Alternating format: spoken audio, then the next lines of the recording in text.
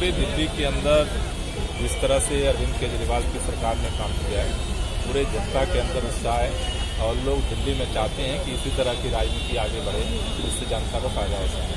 भारतीय जनता पार्टी अनाधिकृत कॉलोनियों को लेकर जो है राजनीति कर रही है क्या लगता है क्या किसको बेनिफिट होने वाला है? नहीं हम तो चाहते हैं कि जो भी जनता है उसको बेनिफिट मिलना चाहिए और दिल्ली के अंदर दिल्ली सरकार तैयार है रजिस्ट्री कराने के लिए।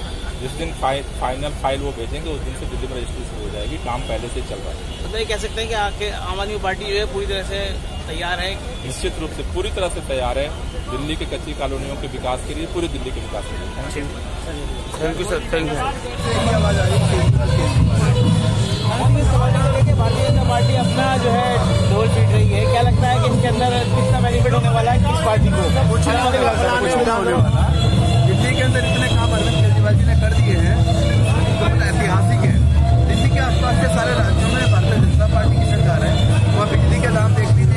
también